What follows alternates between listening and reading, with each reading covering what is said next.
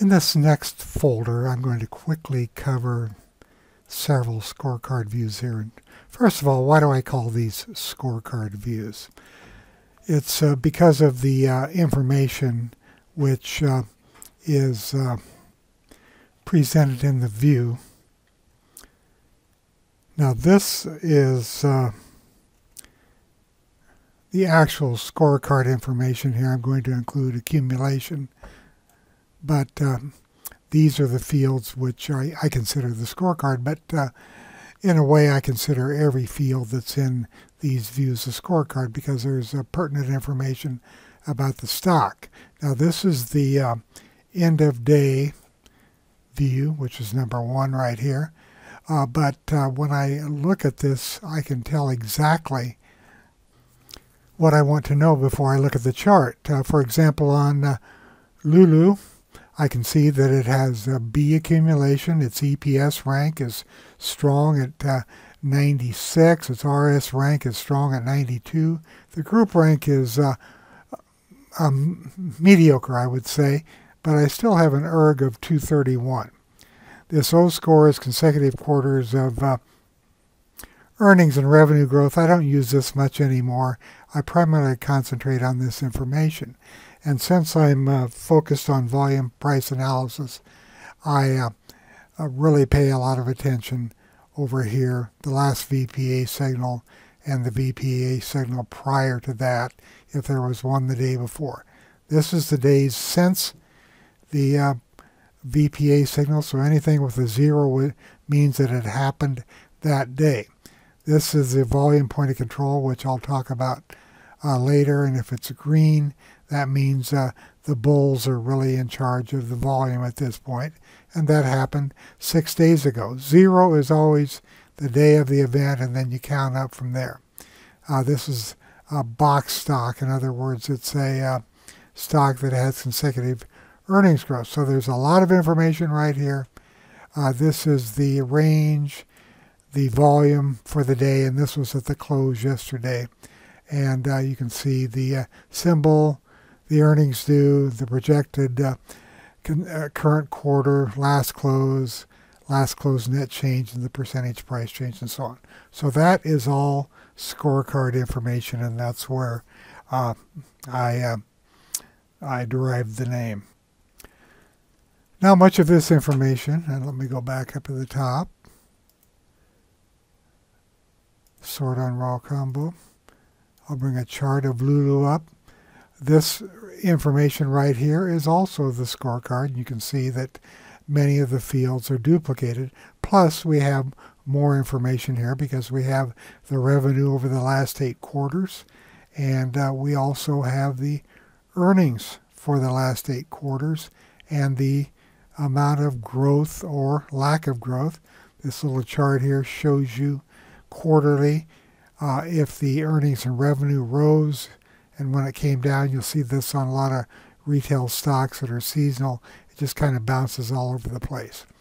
But here is, you can see it says scorecard here, and these are the primary fields, uh, most of which match what's in the warehouse view. Of course, the warehouse view is uh, much more flexible because I can take any field which is available and put it into a view and arrange them however I want to. Now, Notice uh, the industry column is right here, very important because uh, with uh, the top-down approach to uh, market analysis and prospecting, uh, obviously we need to know the industry groups, sectors, and so on. So let's just quickly run through these, uh, or I'll quickly run through these scorecard views. I do want to show you one thing. remember that the combo rank is attached to the view. If I disengage uh, this, uh, here's the combo. And if I disengage this, these stocks will not move from their current position when I go down to stocks intraday. So this is as of last night. But when I go to stocks intraday, the combo remains the same, the last night's combo. So I can quickly see which of these stocks, which were up strongly at the end of the day, uh, yesterday are continuing to move up. Now, if I engage the combo on the stocks intraday, it's going to give me a current reading of the strength of these stocks based upon that combo. I'm going to go back to stocks end of the day. I'm just going to quickly show you the end of day combo, which I use uh, on most of my views uh, on the bullish side. It's uh, looking for a strong move percentage wise with heavy volume and uh, the range near the top. And uh, I'm also looking for the uh, volume point of control to be positive, and then these other fields have less weight. So it's a very technical combo. And that is my end of day combo. Let me do that one more time. I'm going to disengage this. This combo, the end of day combo will remain in place, but I'm going to go to my intraday view and I can see which of these stocks, which were ex extremely strong yesterday, are holding up today. And you can see that Lulu is up uh, another uh, uh, uh right here, 2.12%, sorry. And then when I engage the current combo, Lulu drops all the way down to number 531. So as you can see, the combo rank has a tremendous effect upon what is occurring in the view. I'm just going to click on, uh, let's find Lulu. And you can see it dropped down all the way down to number 531 out of 3318. So um, big difference. That means there are 530 stocks above it as of 1:24 p.m. on Friday the 11th that fit the combo better than Lulu does. Now I'm going to quickly run through the rest of these now that you uh, know what I'm doing with these scorecard views. Uh, number, I was just on 1A. 1B is uh, the scorecard with stocks under $5 end of day. There are 1,149 of these. Now this includes IPOs too. Intraday, you can see 1149, same filter, and uh, these are the stocks that are under $5. Here's the price. You can see some of these are very, very inexpensive. Let's take a look at uh, one that uh, is close to $5 here.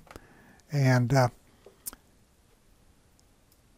I'll bring this down. You can see it's up 11.14%, trading at 100% of its daily range, and uh, the volume is running well above normal. It only trades 40,000 shares. So you can see in this scorecard view, there's a lot of information right here. Do I want to mess with a stock that's trading 40,000 shares? Probably not. This, uh, this volume is a 50-day. I'm using the 90-day. Why am I using a 90 day? Because the VPA flags are all based upon the 90 day. Okay, moving on. Uh, this, uh,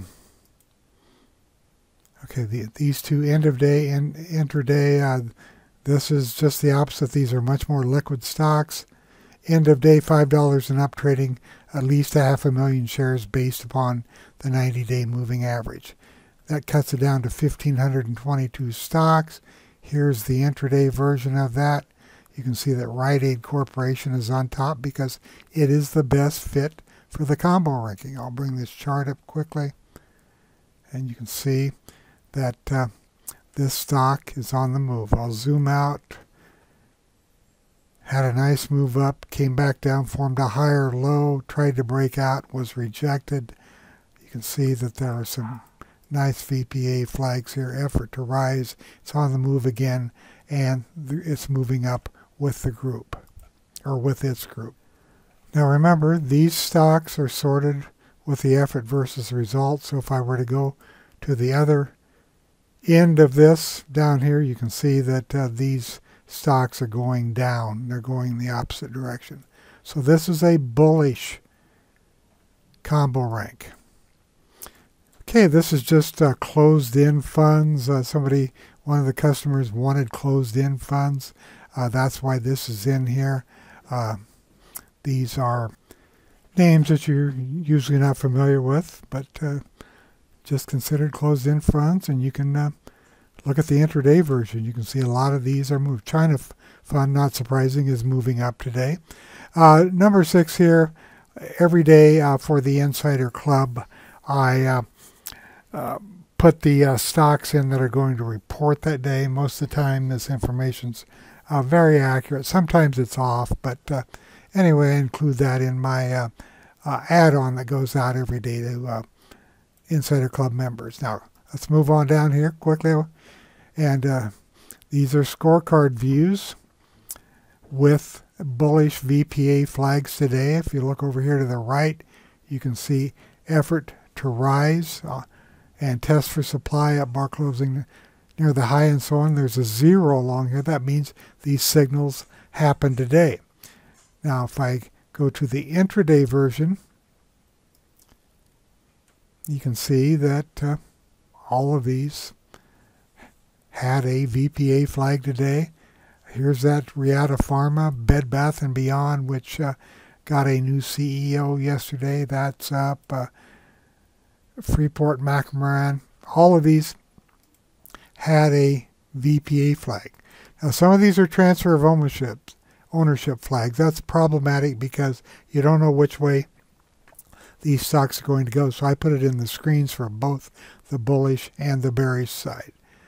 Let's bring up uh, this one. You can see right here with this circle, it indicates transfer of ownership. What that means is there are buyers, and by the end of the day, a lot of the buyers uh, took profits and drove the price down, but you can see that it came or opened strongly. It gapped up and it's uh, at near the uh, top of its range today.